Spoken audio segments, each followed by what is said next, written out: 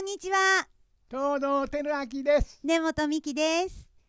今回は48日目東京都の2日目です。はあすごい。ね。頑張ってきたよ。今日も演奏してくださるのは、はい。三味線が上原淳之介さん、はい。藤本松福さん、はい。尺八が米谷武正さん、はい。よろしくお願いします。鳴り物が南駒和美さんです。皆ですよ。さんどうぞよろしくお願いいたします、はさてですね今回はですね東村山音頭をですね、はい。選ばせていただきました、えー元はね三橋道也さんと下谷文子さんが歌ってらっしゃったあはねうん。ご当地ソングだったんですけれどもね、まあ私らにとってはこの歌は志村けんさん。ね。一丁目一丁目ワオーとかっていうのもありましたけれども、あのずっとあのテレビでね見てあの志村さんが歌ってるのを見てまさか三橋先生とあの下谷先生が歌ってるとは思ってもいませんでした。ね、そしてテレビの速報でね志村けんさんコロナにより死亡ってこうテロップがバーッと出た時ですね。もう私心臓がドキッとしましてねえー、なんなんでなんでなんでなんでと思ってもう本当なんとも言いようのないもうこう本当にこう無力感というかこう悔しさというか。僕家の前まで報だったからね。道が流れた日、家の前にあの拝み行きました。え？もう家の前超に好きでもうずーっと毎年舞台見に行くほど好きだったんです。あそう。志村こ志村コン。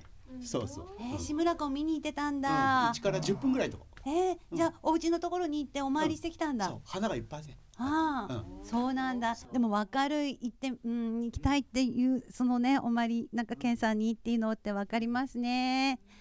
ケンさんっていうのはいつもこう笑顔をねくれてみんなに笑いをくれててまさかまさかあの方があんなに笑って笑わせてくれる人がコロナでいなくなってしまうなんていうことはねね思えなかったですよね。やっぱコロナって怖いんだなってすごくあの時多分ねあのいろんな方があこれはこれはちゃんと予防しなきゃいけないとかそういう感染あのしなきゃいけないっていうことを本当になんか思ったと思うんですよね。やっぱり志村けんさんが身をもって私たちにそれを教えてくださったんではないかと私は思いますね。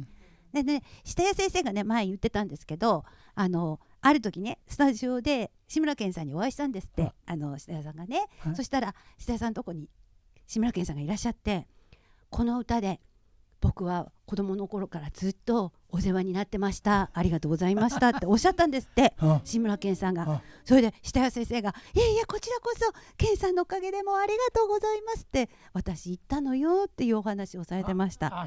う。うん、だからやっぱりあの志村けんさんにとっても東村山音頭っていうのは本当に子供の頃からの大切な歌だったんだとねうんうん。思うんですよね。ね。今日はねその歌を私たちではい。やらせていただきたいと思います。たっぷりと。ね。私たちもこの歌を次の世代をつないでいきたいですよね。東京2日目は東村山音頭お送りいたします、はい